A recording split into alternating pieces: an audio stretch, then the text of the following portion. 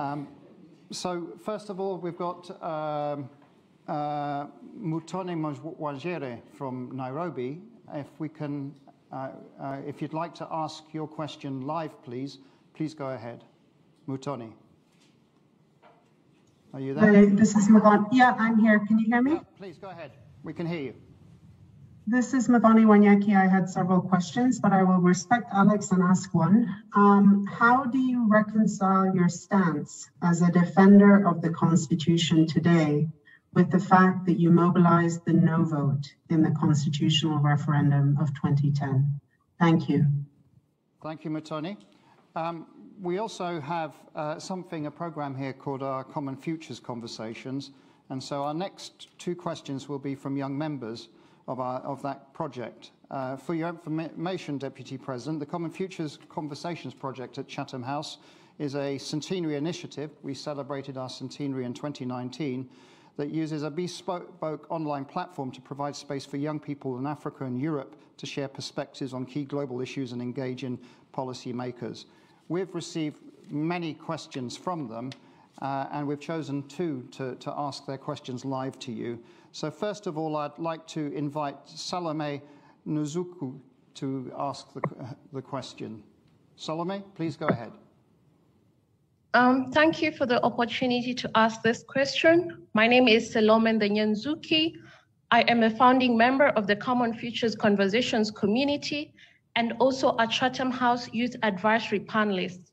Currently, I work at the Ministry of Foreign Affairs here in Kenya. Excellency Deputy President, how will you tackle violence against women, safeguard women's rights, and promote gender equality if elected as the fifth president of Kenya? Thank you. Thank you very much. And then the second question is from uh, Daniel Orogo. Daniel, please go ahead.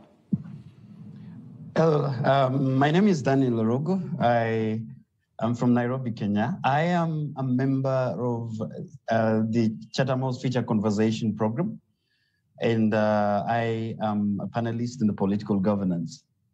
Uh, Your Excellency, the Deputy President, uh, President Kenyatta has admitted uh, severally uh, in different platforms that there is nothing he can do to do to fight corruption.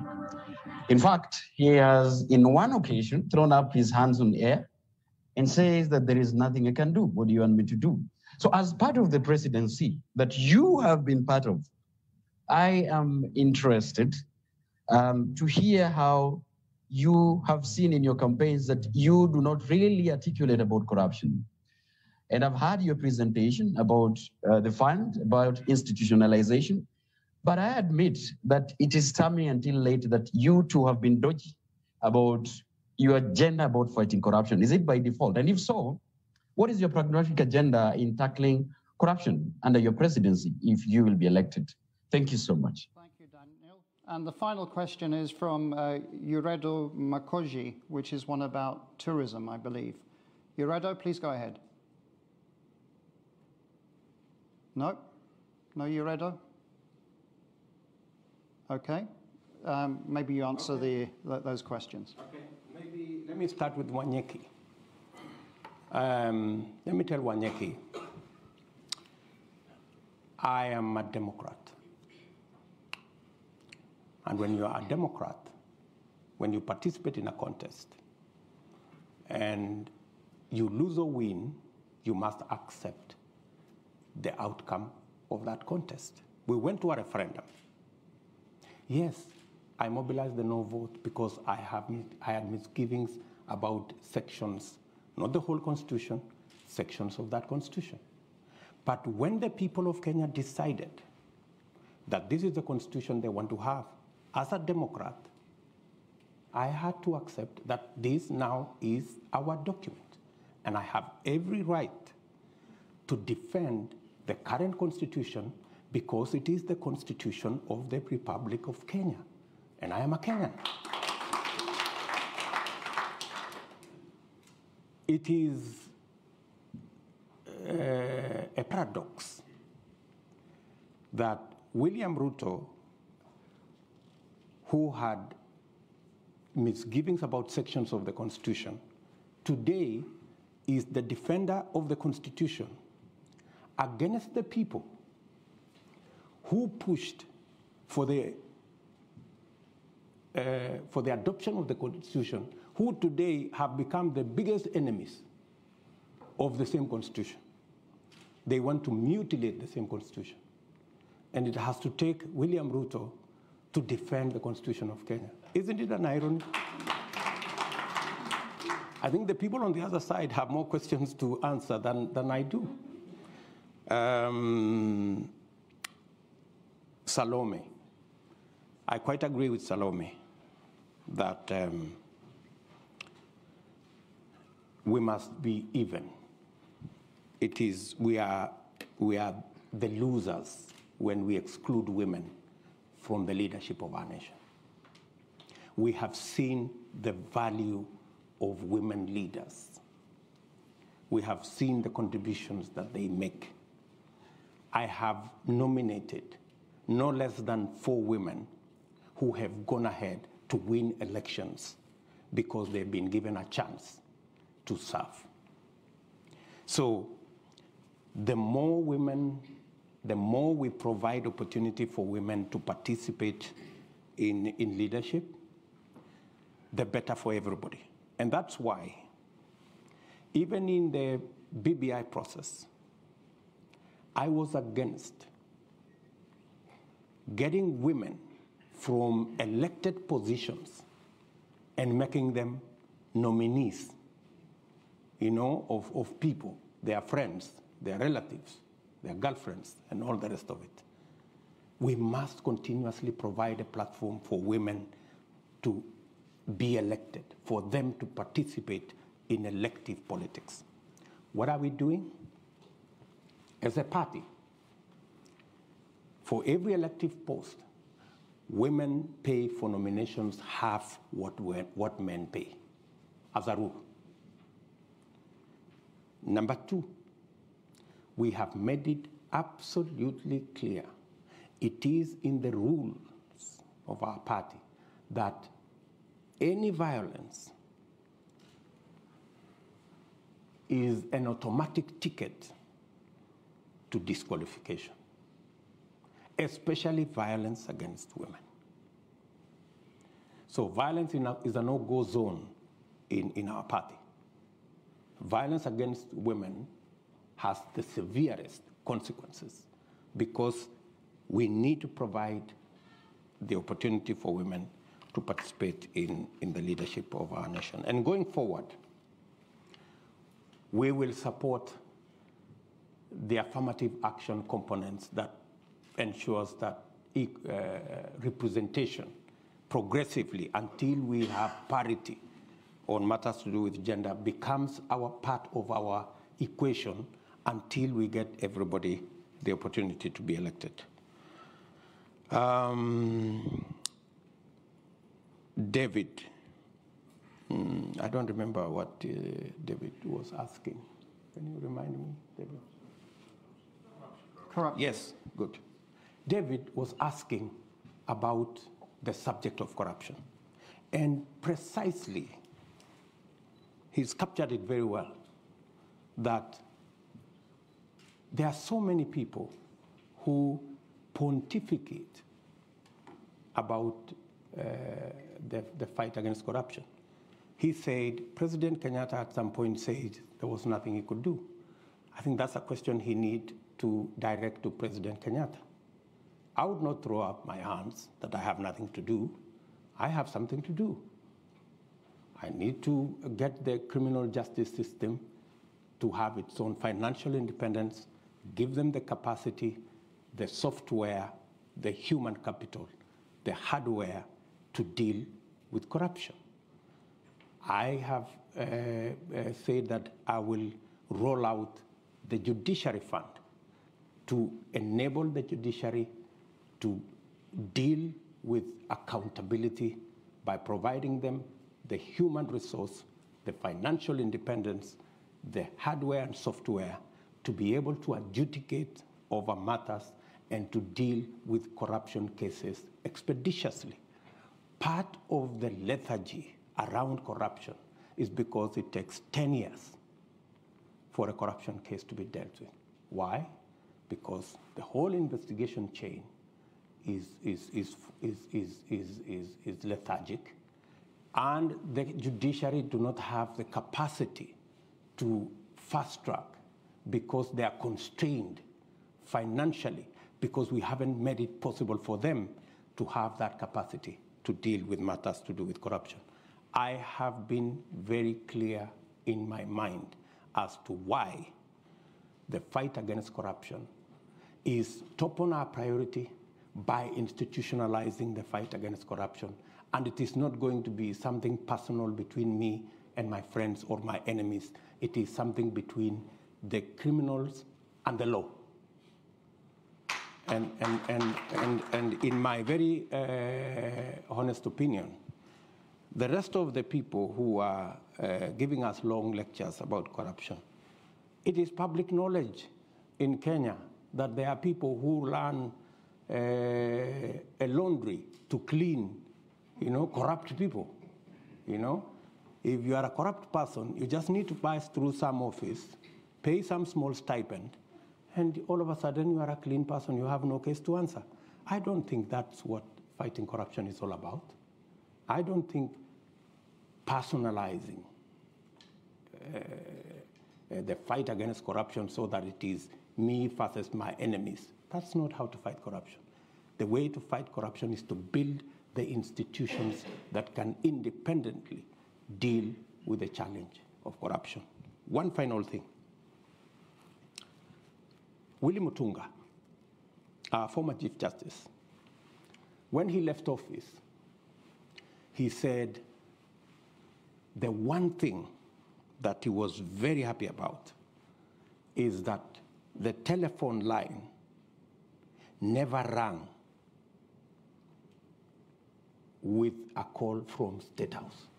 In four years that he was Chief Justice, not one day. It never rang. And he was very proud of it. Because that's how to keep the independence of institutions and to make sure that every institution does its job.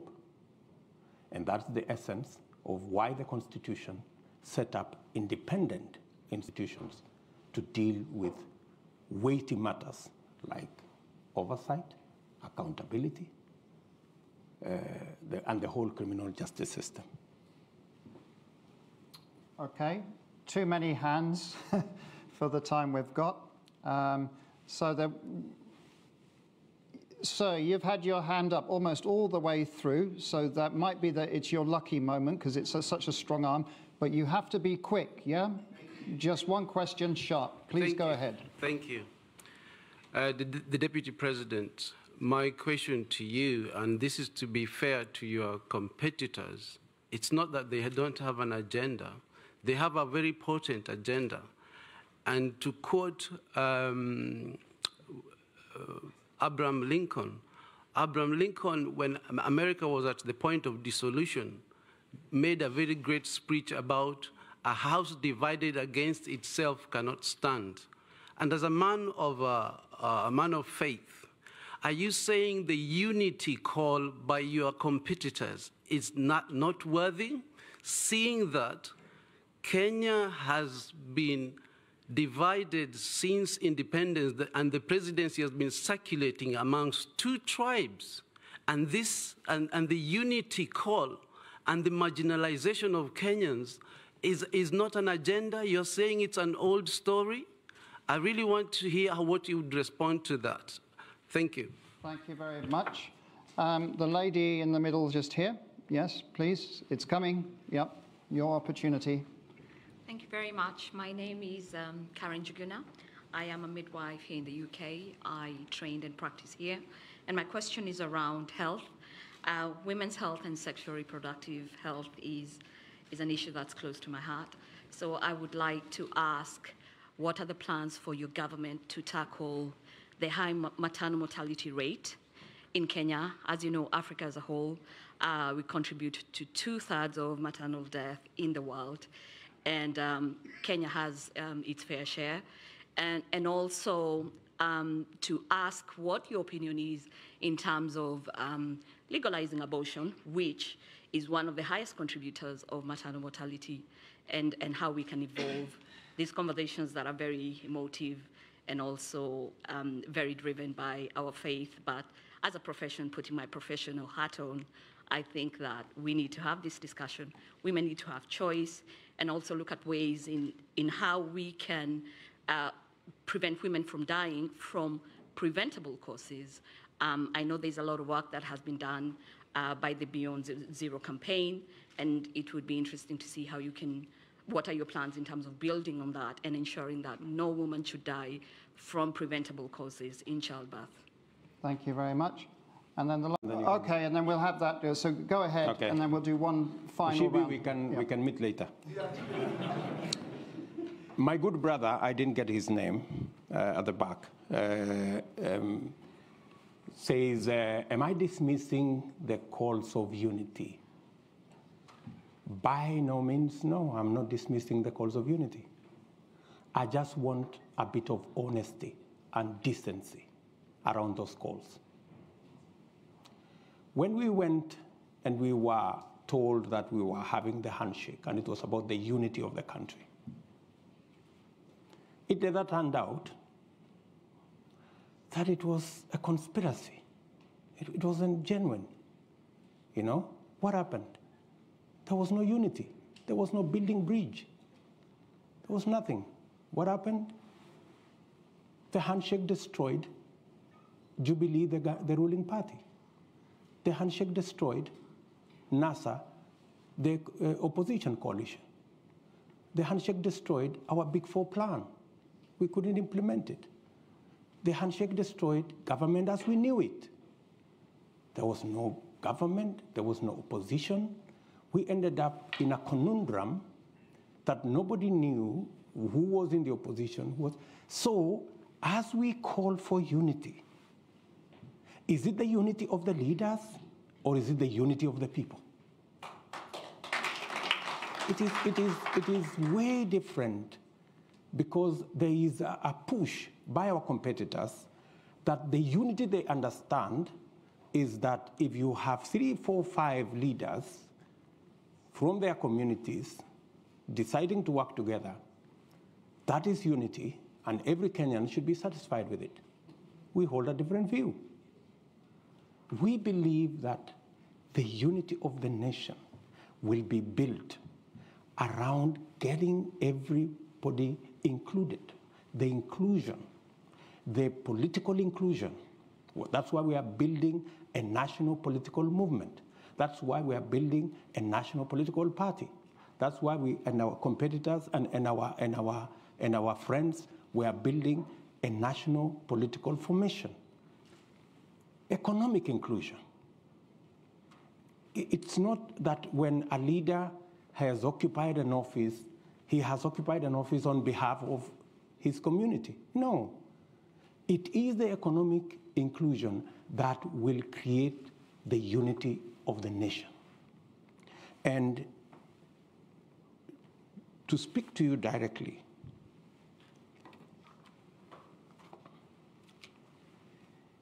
if if, if you want to tell us today that we want, you want us to believe you, that you are genuine about the unity of the country, you know? And you have just come from your commitment. You said, This is my commitment, this is my word as a leader. You've walked away from it. In fact, I consider the, the, the, the, the, the, the so-called unity.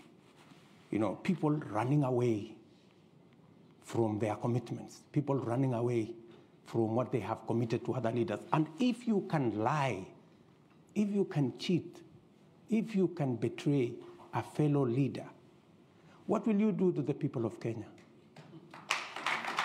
Huh? So, I mean, really, we have to be honest about this thing, you know, and that's, that's, we must speak candidly as Kenyans to these issues. Let's not gloss over big words, or, oh, you know, unity of the country, second liberation, Mandela moment. No, I mean, this is all nonsense. I'm sorry. I mean, we really must speak to the, to the real issues that bring people together.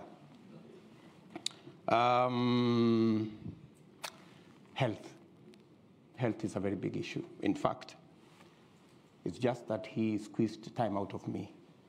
That's one thing that is at the heart of this conversation.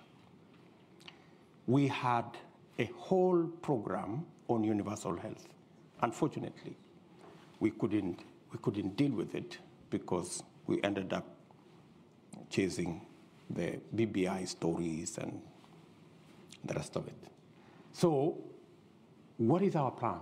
We managed uh, this year, in fact, three, three months ago, we managed to pass the changes to the law to make it possible for us to re-engineer the whole health space and make it possible for us to get to universal health coverage that carries with it your concerns on how women access health and how the citizens of Kenya access health. We now have the law that will give us a graduated contribution mechanism where people earning six figures like myself can pay more, and the people down the pyramid can pay less. And it is our considered view coming from experts and uh, complete with actuarial uh, expertise that it is possible under the new arrangement for us to double, if not triple, the resources that will be available to manage our health under our new health program as passed by the law in Parliament. That way, we can be able to deliver health in a much more predictable, quality health in a, in a, in a, in a better way. And with it, you know, uh, when we came into office uh, in 2013, okay, I remember I think it was in 2015, we then said that government of Kenya will pay through National Hospital Insurance Fund for every mother who gives birth. Many women avoided going to hospital because they could not afford, but we made it possible that every child must be born with health professionals in place. And that's why significantly we have reduced uh, maternal deaths. With our, with our universal health coverage properly rearranged, that will scale up uh, uh, those interventions. On matters to do with abortion, the law is very clear in Kenya until it is changed that uh, if the health or the well being or the survival of the mo- mother is in, is in jeopardy, doctors are legally given the permission to save the life of the mother. So that the provision on where life is in danger is already captured by our law. Maybe then, uh, unless you're talking about something much more progressive, then that's another discussion. Kenya is a democratic country. We will have a conversation. And when we get to that place where we make that decision, then we will implement it in whatever fashion that the law will provide at that point in time. Um, Mushiri, Mushibi, sorry, yeah, on what guarantees do we have to make sure that we are not transiting for this